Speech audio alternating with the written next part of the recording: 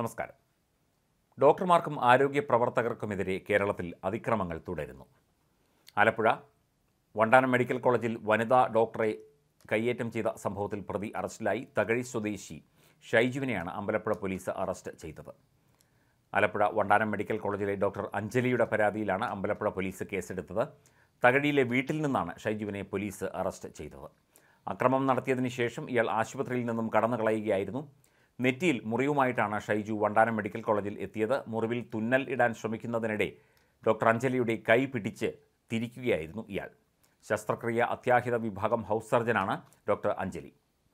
ഷൈജു മദ്യലഹരിയിലായിരുന്നുവെന്ന് ഡോക്ടർ വ്യക്തമാക്കി. സംഭവത്തെ തുടർന്ന് ആശുപത്രിയിൽ പരിഭ്രാന്തി സൃഷ്ടിച്ച ഷൈജുവിനെ ആശുപത്രി ജീവനക്കാർ ചേർന്നാണ് പിടിച്ചുമാറ്റിയത്.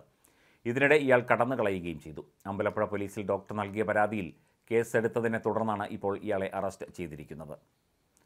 ഇതിനു മുൻപും പലപ്പോഴും കേരളത്തിൽ പല ആശുപത്രികളിലും ഇത്തരത്തിൽ ഡോക്ടർമാർക്കും ആരോഗ്യ പ്രവർത്തകർക്കും നേരെ പലതവണ കയ്യേറ്റ ശ്രമമുണ്ടായിട്ടുണ്ട്.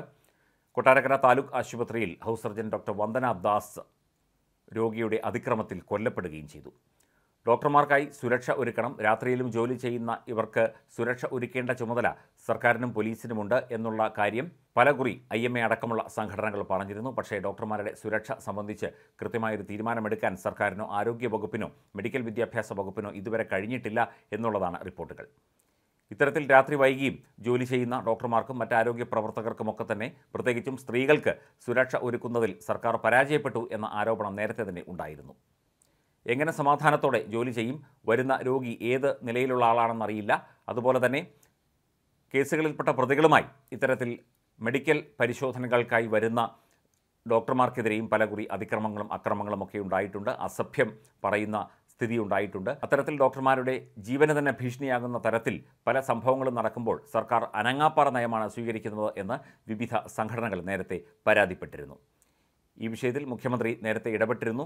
ആശുപത്രിയിൽ ഡോക്ടർമാർക്കും മറ്റ് ആരോഗ്യ പ്രവർത്തകർക്കും സുരക്ഷ ഒരുക്കുന്നതിനെ ചൊല്ലി നിയമസഭയിൽ വരെ ചർച്ചകളും മറ്റ് കാര്യങ്ങളുമൊക്കെ നടന്നു. പക്ഷേ അതുമായി ബന്ധപ്പെട്ട നടപടികളൊന്നും ഇതുവരെ ഉണ്ടായില്ല എന്നുള്ളതാണ് മറ്റൊരു ഖേദകരമായ കാര്യം. രാത്രി വൈകിയും ജോലി ചെയ്യുന്ന പ്രത്യേകിച്ചും സ്ത്രീകളായ ആരോഗ്യ പ്രവർത്തകർക്ക് നേരെ ഇത്തരത്തിൽ അതിക്രമങ്ങളും അക്രമങ്ങളും ഉണ്ടാകുന്നത് അപലപനീയമാണ് എന്നാണ് ഡോക്ടർമാരുടെയും ആരോഗ്യ പ്രവർത്തകരുടെയും സംഘടനകളും പൊതുസമൂഹവും ആരോപിക്കുന്നത്.